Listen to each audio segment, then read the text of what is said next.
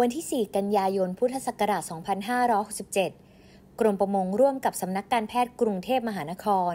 จัดกิจกรรมตรวจสุขภาพ ตามนโยบายตรวจสุขภาพ 1 ล้านคน